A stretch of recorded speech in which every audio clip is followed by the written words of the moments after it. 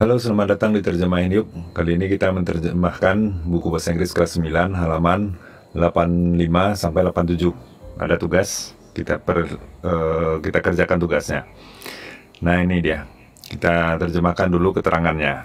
Sebuah resep adalah hasil karya tulis dan makanya menggunakan aturan-aturan bagaimana menulis dalam bahasa Inggris. Ya, untuk mempresentasikannya secara oral, kamu tentu saja butuh atau harus menggunakan aturan-aturan bagaimana cara berbicara dalam bahasa Inggris. Nah, sekarang kerjakan dalam kelompok, pelajari contoh di bawah ya, ini dia contohnya. Nah, ini di halaman hmm, 86 ya. Pelajari contoh tersebut tentang bagaimana mempresentasikan uh, kandungan uh, atau resep tadi secara oral ya. Perhatikan pada perbedaan antara versi tulis atau versi tulisan dan versi uh, oral Se untuk menyatakan ingredientnya atau kandungannya itu ya. Atau bahan-bahannya itu. Ya bahan-bahan dari resep tadi. Nah pertama salin contoh di bawah. Jadi ini kamu salin. Ya salin ini dulu. Tulis tangan. Kalimat-kalimat kamu itu di selembar kertas. Pastikan kamu mengetahui makna dari tiap-tiap kata dan mengucapkannya secara benar. Gunakan juga tanda baca secara benar juga, ya. Kemudian dalam kelompok praktekkan mempresentasikan bahan-bahan tadi ke masing-masing teman kamu, ya, secara oral. Ucapkan masing-masing kata itu secara keras, jelas, dan benar. Pertama, ucapkan setelah saya. Maksudnya diucapkan oleh guru, lantas kamu mengulanginya lagi. Nah, ini dia. Jadi, ini cara membuat pad, uh, puding apel ya. Puding apel novel. Nah, puding novel apel. 4 gram 4 apel hijau ya, peel them core them and slice them thickly. Perhatikan ini ya. Ini pasten, pasten, pasten. Ini menjadi present, present, present, ya. Nah, itu yang pertama. Yang kedua, perhatikan juga ini, ya, off. Jadi setelah a quarter ini setelah ini ya ada kata-kata off. Ya itu perhatikan. Dan ini past tense menjadi present. Tambah jadi it. It di sini kalau dia tidak dapat dihitung menjadi it. Tetapi kalau ini kan them karena dia banyak empat buah dan bisa dihitung maka menggunakan them.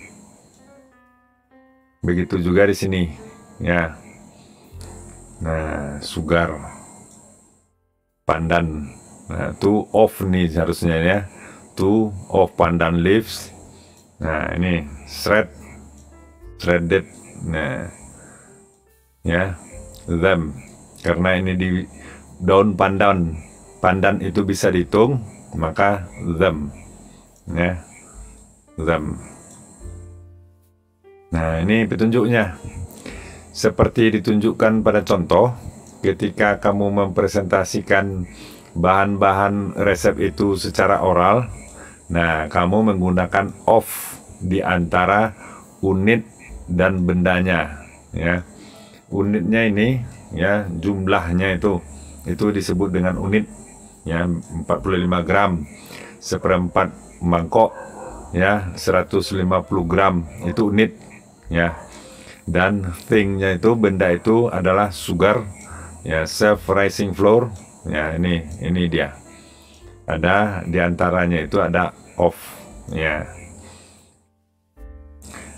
Yang kedua kamu menyampaikan kepada pemirsa atau pendengar untuk melakukan sebuah tindakan yang dibutuhkan dengan uh, tindakan yang dinyatakan setelah benda ya jadi bendanya itu nih dia, ya. Nah dirubah ini past tense jadi present tambah them. Them ini mengacu pada apel.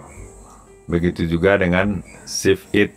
Nah ini karena self rising floor ini tidak bisa dihitung, ya satu-satu tidak bisa dihitung, maka menggunakan it. Begitu juga ini pandan, ya daun pandan daun pandan bisa dihitung, maka menggunakan them. Nah, petunjuknya sekarang kerjakan dalam kelompok kamu secara oral, presentasikan keseluruhan bahan-bahan dari puding apel novel, puding novel apel dan uh, esteller masing-masing kamu ya. Pastikan kamu mengucapkan tiap-tiap kata tiap-tiap kalimat, maaf, tiap tiap-tiap kalimat dan masing-masing kata secara keras, jelas dan benar. Gunakan juga tanda baca secara benar. Jika ada masalah, tanya guru, ya. Nah, di sini saya sudah buat ya hasil kerjanya. Ini dia. Ini jumlahnya, ini jumlah ya empat jenisnya ini bendanya apa, e, tindakan apa yang harus dilakukan. Ya.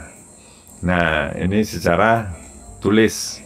Kalau ini secara oral. Ya, for green apples, peel, core, and then slice them thickly. Ya. Ya, ini yang kedua tadi ya. A quarter cup of a quarter cup or 45 grams of self-rising floor, sieve it.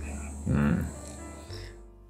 Lanjut, butter atau margarin, ya, dipotong dadu, 60 gram butter atau margarin, cup it, ya.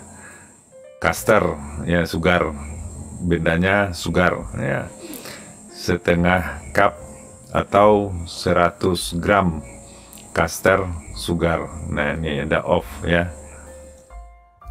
Lantas bendanya water lagi air. Nah satu seperempat uh, mangkok atau 300 ml air. Nah itu untuk uh, puding apel. Untuk esteller. Nah begitu juga. 150 grams or one a half cup of sugar. Hmm. Pandan lagi, daun pandan. Nah ini dia. Ini cara menuliskannya, eh mengucapkannya, mengucapkan uh, untuk pandan. Nah ini oh tiga setengah ya, water air. Nah ini tiga dan setengah tiga setengah sendok makan atau 50 50 ml air. Lanjut, ini avocado. Ya, ini cara oralnya. Terus jackfruit. Nah, ini cara tulis dan ini cara oral. Yang coconut ini cara tulisnya dan ini cara oral. Three off ya. Sorry kurang offnya ya. Atau bisa juga tanpa off bisa juga ini. Bagusnya tanpa off ya scrap the meat out. Nah ini kan scrap pakai pastan nah kalau es ya secukupnya saja ya tidak ada uh, bedanya nah itulah untuk kali ini videonya jangan lupa subscribe dan like sampaikan kepada teman dan guru, diskusikan dalam kelas. Mudah-mudahan bermanfaat. Sampai jumpa.